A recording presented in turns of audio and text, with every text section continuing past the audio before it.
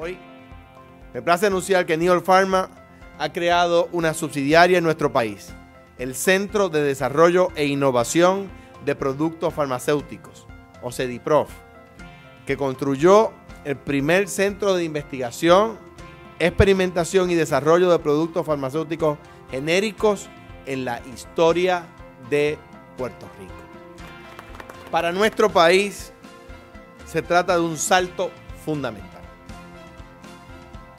Además de ser un país donde se manufacturan 7 de los 10 medicamentos más vendidos en el mundo y donde tenemos 12 de las 20 compañías de biofarma y biotecnología más grandes del mundo, ahora nos convertimos en un productor de medicamentos, desde sus etapas iniciales de investigación y experimentación.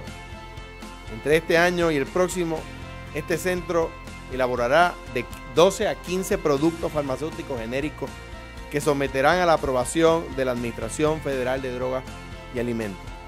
En la creación del Centro de Investigación y Desarrollo de CEDIPRO, la inversión total asciende a unos 12 millones de dólares.